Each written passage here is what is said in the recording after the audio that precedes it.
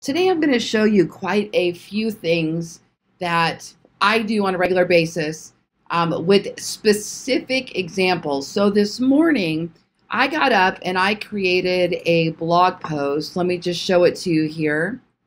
We're going to talk about this blog post, why I created it, how I knew to create it.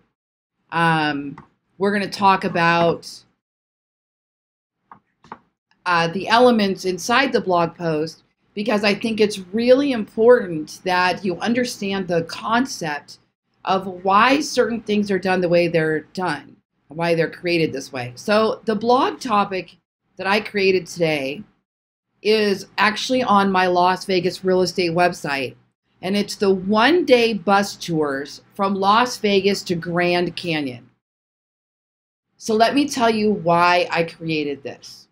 First thing is, I use the strategy I often use, which is by going over to my favorite keyword tool and typing in a keyword. Now, in my case, I was looking to do a hyper local blog post. So, this would be a blog post specific to Las Vegas or even a smaller pocket inside of Las Vegas, even a, a more hyper local, like a zip code or neighborhood. But in this particular case, I found something I wanted to do in Las Vegas. So what I do is I pull all the keywords in Las Vegas and then I say, show me all word counts that have at least three or more words and have a search volume of under 300. Now, whenever I want to rank fast on the search engines for um, any kind of content, I start by looking at keywords that have a 250, 300 monthly search volume. I can also pull by competition level. But what happens that I find is most of my blog posts that, that I do following my formula um, that is not really unique to me as much as it is a search engine optimization um, strategy that a lot of people use. When I'm creating my co- content, right, and I write a blog post that's under 250 or 300 monthly search volume, uh, typically I'll rank very quickly for that. So if I'm looking to get a bunch of little new things um, started or I want a little bit more uh, traffic, maybe I'm creating a new blog I want to start with, I'll start here. And then once I've done those, I work my way up. Okay. I want to show you there is on my website called the7thstream.com. Yesterday, I shared a blog from Jim and Ricky over at um, Income School and I like their their I like their teachings because they fun, they work very very similar to I do how I do. They build niche word niche websites on WordPress. They blog like crazy. They optimize with ads and with affiliate links and um, and then do training and sell courses. So I'm very similar. I work very similar to them, and they call their blogging. They they talk about a content mix so they say that one third when they building when they're building a new website, one third of their articles are response posts. These answer a specific question and are around 12 to 1300 words long. You know what? I will put a link to this page um, in the description below so you guys can take a look at this afterwards. So one third of the articles response posts to answer a specific question like how long would it take to get from Las Vegas to Grand Canyon? They're around 1,200 to 1,300 words long, low competition queries, and they write these first. The second ones are staple posts. They're around 2,200 words long and are more in depth than a quick answer. They're often lists, articles, deep dive. So I'm gonna right now I'm at about a thousand words for my blog post. So I would be somewhere in between these two but I'm still building onto it. So it's going to be longer. So it's probably going to be more like this middle one here, a staple post. And then pillar posts. Um, you've also heard these referred to as like skyscrapers. Uh, this, these are going to be one third. These are the big, meaty, competitive topics, several thousand words. Okay, so they kind of do one third, one third, one third. I don't think mine has ever been that definitive, where I where I've calculated how many are staple posts, how many are your pillar posts, how many response posts. What I tend to do though is I do start off with this with the smaller, work my way up, and then go to the bigger one. So it's a very similar formula. And using uh, my keyword tool, SEMrush, I'm able to identify some of these opportunities at a quicker glance than using some of the free ones in Google. So this is a paid tool that I use. Okay. So I was scrolling down here looking at, okay, where can I donate my car? How to be a teacher in Las Vegas. I really like that one. I'm going to come back and do that one.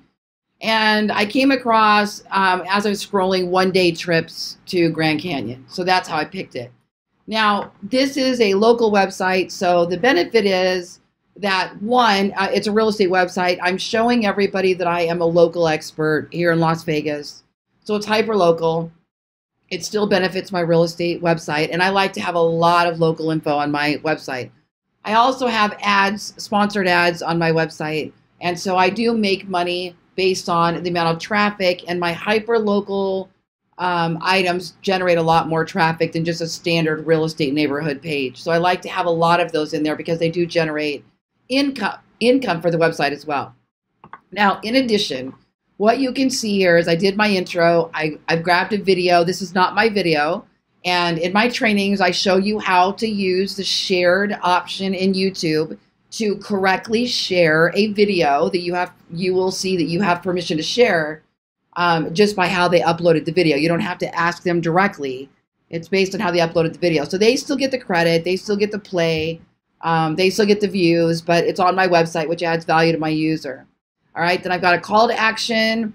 I've got a disclosure that i benefit from my affiliate links. I've got a table of contents. And then here you can see i've got one day grand canyon from las vegas tours okay? Now, for my affiliate marketers, those of you that are following me because you're specifically learning affiliate marketing, this is where the gold starts coming in. So, what I did is every one of these that I went on and listed as a Grand as a Grand Canyon tour, I looked to see if they had an affiliate um, opportunity. If they did, I applied for it. So I don't have them all today, but I went and applied for them my goal is to make a list of all the one day Grand Canyon tours and then only link to the ones I have an affiliate link to. And then just put the name in um, otherwise, and the people, of course, could go Google could go Google it. Now, I do have an affiliate link, um, an affiliate relationship with Groupon, so this is really cool. What once you sign up with Groupon and you get your affiliate, excuse my voice, I'm I'm a little hoarse today um, you can go over to Groupon. You can go to any page. So you can see here right now, I'm working on the hotels at the Grand Canyon. So I, I typed in um, hotels at Grand Canyon. I found this page. What I'm able to do then is just up here, they give you a little uh, bookmark, bookmarklet or bookmark, and you can just now click on that and it gives you the ability now to create a link that will have an affiliate code in there, which means if anybody signs up for the Grand Hotel using Groupon, they pay for the Groupon, I'll get an affiliate um, commission. And so this blog serves several purposes for me. One, it feeds my real estate website, shows I'm a local expert. Two, it generates more traffic because it's going to rank on the search engines, which will bring me more AdSense revenue. Three, I'm building an affiliate links for the companies, hotels, travel that are directly related to that. So that's also a benefit. Um, this Ebates one up here, I'm also an affiliate, so I've got Ebates back there, and a lot of these these people can get a Groupon and they can get Ebates cash back. Really great deals if they know about it, but a lot of people don't know about it, so you're doing them a favor. All right. Then I've got a little quote there from um, so another website that has information about the Grand Canyon. Of course, I've given them link back there. Now I've included an image, and this image is created directly for the purpose of pinning it on Pinterest. So I like when I blog now to create a long, um, narrow, pin shaped image that is geared for Pinterest because now watch what I can do. I'll click on my little bookmark here, or I'll go up here to Pinterest See the difference? So this is what the video looks like. This is what a regular square um, vertical image would look, look like. And this is my long pin. And then I click save. And now I'm able to pin that to the website that I want to pin it on. And other people are willing to pin it as well. Underneath that, I have Grand Canyon guides and maps.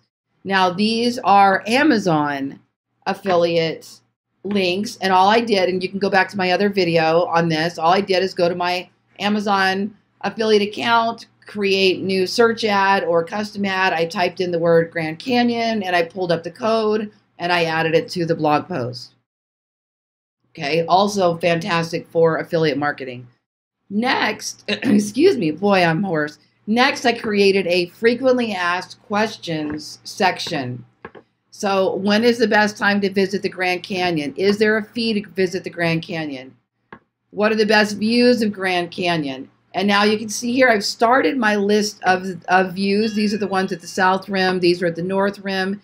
But I'm now seeing an opportunity because while I put everything on a quick list of frequently asked questions using uh, WordPress Gutenberg content blocks, the little frequently asked questions block, I can expand on a bunch of these. So if I really want to make this post stand out, I'm going to get it up to probably a couple thousand words, there are ways I can expand on this. And one of those would be describing these views. Where are they? Maybe directions, how long it takes to get there, anything like that. Okay. And then I've got is there Wi Fi at Grand Canyon? That's just a quick answer. I'm not going to elaborate on that. What should I wear to Grand Canyon? Now, if you look here, I've got things like wear breathable light colored clothes, long tan or khaki breathable shorts. Here's an idea for the men who like pockets. Now, if they click on that, it goes to Amazon, and they've got here we've got a pair of shorts that are perfect for hiking in uh, Arizona or Vegas um, with pockets. And with Amazon, if this person now puts this item in their cart, and then they add any other items to their cart, whether they use my link or not. So let's just say this guy puts these shorts in his cart. And then he continues to go on and search for bug spray, suntan lotion, backpacks, water bottles, whatever he happens to do, or maybe something unrelated. He happens to notice he needs protein powder that he's going to have shipped.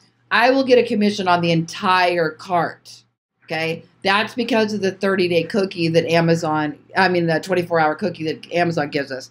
Now, if that person puts all these items in their cart and they do not check out, then a 30 day extension is put onto that cart that if they check out anytime between now and the next, now and 30 days, without removing all these items, I would still get a commission. Now, any new items they add to the cart, we don't get at that point. But if, if he happens to wait and say, you know, I'm just not sure today, I'm going to leave this in there and he doesn't empty the cart and then eventually at some point he checks out with some of these items in it, we still get a commission. So you can see I'm covering a lot of basis with this blog post. And in my experience, these um, hyperlinks here do those generate the most Amazon sales for me, more than these widgets generally do. Even though these look great, these these seem to generate more interest when they click through. So I've got several items there and now I've got where can I get mapped to the Grand Canyon? And these are actually all linking to the Grand Canyon um, Authority or, or local Parks and Rec site. And they can download each one of those and it opens in a new tab. And now I've started adding all of the hotels. So hotels near the South Rim, um, the city nearby. Now I can also expand on each one of these and today I've begun to look at which one of those might have affiliate relationships. So if I've got an affiliate relationship with booking.com or hotels.com or Expedia or Travelocity or any of those, I can now go in and format that link, come in here and hyperlink, and then I will have the ability to earn affiliate commissions on those. If there's a Groupon, I can link to the Groupon. The drawback with the, the Groupon is that um, they're going to expire. They might expire, so your links are going to go bad. You're going to have to go check those. Where if you've got a, a hard, fast affiliate relationship through commission, you know, from CJ.com, Commission Junction, or ShareASale, or Flex Offers, or any of those, you're more likely to have something that's going to last longer. Booking.com, you can apply directly with them. So I've started doing all of that. So right now, this is a, this is this is about a thousand words and I could stop here, but I probably won't. I've got more things I can do to elaborate on this, and I, I think this could generate some decent traffic. Now, also, one thing I want to show you is if I go to my SEMrush and I go down here to SEO content template, this is something I'm always going to do um, in the beginning or before I complete my blog post. So enter your target keywords is going to be um, day tour Grand Canyon from Las Vegas. Let's start there. I'm going to click create SEO template. Now what it's going to do is it's going to go pull the top 10 competitors on Google and it's going to measure my piece of content against theirs. Well, actually, it's going to measure all of theirs. And then it's going to suggest to me what my average, um, what the average text length is for those blog posts, how long they are, and some other items. So let's look at this. So I've got 10, and I can go in and click on those and view them. Okay. Now here, look down here, text length, recommended text length, 1,269 words. So I'm going to create a blog post that's got 1,300 words just to be in line with those other guys. So if I want to beat them, I probably have to dive even deeper. Now, I may not still beat them because if they are an authority on the Grand Canyon and I'm not, their shorter blog might still considerably outrank mine because Google believes they are the authority on the topic, where my website's all about Las Vegas, so they may not consider that as relative. So just because you create a better, longer blog post, more in depth with great video and charts and everything else, doesn't necessarily mean you'll outrank the other guys because they may just have enough tr- enough uh, trust and authority that they're still going to outrank you. But it's worth the effort to go all in and rank as high as you possibly can. Okay. Um, Jim and Ricky over at um, at Income School have done a study. I've never tested this actually. They've done a study and they their reports show that it takes about 35 weeks for a blog post to reach where it's where it's probably going to nestle on Google. And that's an interesting um, kind of little scenario there. And it kind of tells you that, look, you got to create a lot of content and you got to be patient and wait for it to rise up the ranks. So you're going to be looking at six, seven, eight months of watching it climb. Build it right on the on the onset, and it'll be a gift that keeps on giving later. It'll be a passive income earner later. Okay, I also love this semantically related words. Now, I'm always going to look at this before I finish my blog post because it is saying that it believes these keywords should be on my blog post somewhere because they are re- semantically related to the Grand Canyon. And people that have written about day tour to the Grand Canyon have used words like this. So I need to go make sure I have it. So, for example, a helicopter tour, tour I absolutely have it. Boulder City, I don't. So there's probably something re- referencing um, the proximity of Boulder City to um, Grand Canyon. So I need to go look at that. Rim of the Grand Canyon, tour to the Grand Canyon South Rim, Bright Angel Lodge. So that's where you know you go. Oh, I didn't put in any hotels. That's a great idea. Let me go look at those. The canyon floor. I have nothing about the canyon floor. So what I'll do now is I'll go Google canyon floor because I don't know Grand Canyon. I've been there once years and years ago. I want to go again, but I don't know it. So I've got to go do all this Google research myself. So I need to go look at why this is important. Maybe they're talking about the dimensions of, to the canyon floor. I don't know. I have to go look.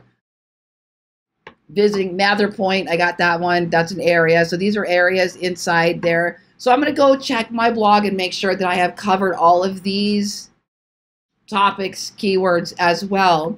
And then it suggests backlinks. So these are our other our other websites that have linked to some of these guys that I might pitch to get a backlink in some sort of a of a way. And then we can scroll down and see um, how our competitors are using the target keyword. Okay. Now, page title, it tells you not to use the keyword phrase more than once. The optimal title length is 55. Um, it's saying put day tour Grand Canyon in the title because that's a keyword that I'm targeting. And that still has some relevance in SEO in, in um, now, although a lot of the old fashioned SEO and keyword stuffing and and all of that doesn't apply anymore. There's still some strategy to putting your target keyword in the intro, the URL, the title, um, things like that. It's telling me to, to make sure that it's at least an uh, has an H1 tag. That's the title. I already do that. All right, so this is cool. It'll, it'll also often tell us things like the other people have used video, so we suggest you use video or images. Um, so this is a great tool. Just to, um, I always look over this one before I make the post, just to make sure I've covered everything that I need to cover. So if you're if you're drawing a blank and you don't know what else to write, this tool is going to help guide you on on other areas you may not have thought about based on what everybody else is doing. Now I've got a really good shot of ranking on page one potentially the top of page one um, for a blog post like this. I did one like this, and it was on how to keep bugs off your screen doors. Now, Vegas, we don't have this problem. Um, we have bugs, but we don't have a lot of flying bugs. We don't have issues with mosquitoes and things like that, unless you're right on the one of the man-made lakes. And we, we don't see a lot of screen doors. It's also too hot in the summer to keep your door open and cold in the winter, so we don't we don't see a lot of that. But I went ahead and did the blog post because I saw it on one of on one of the keyword research things I was doing, and it shot right up there nationally. And I was really surprised. And now I sell, you know, those citronella candles and the and things that you spray the screen with, and from that blog post through my affiliate link. So you just you just don't know. And when it comes to blogging, some of these are going to take off and do great. Some of them will go flat and die. You just have to be okay with that, you know. Um, what we really want to focus on is making sure that you get like 30 to 50 of these um, pages on your website, really good, uh, meaty blog posts. And then you've got a website that could be generating some traffic and um, bringing you some some sales, affiliate income, whatever it is that you're going after. So I wanted to make sure that I showed you that today so that you could see exactly how and why I created this um, hyper local blog post. Thank you for um, for giving my voice here. I wanted to make sure I still got this video lesson up, up up for you today. All right, thanks for joining me.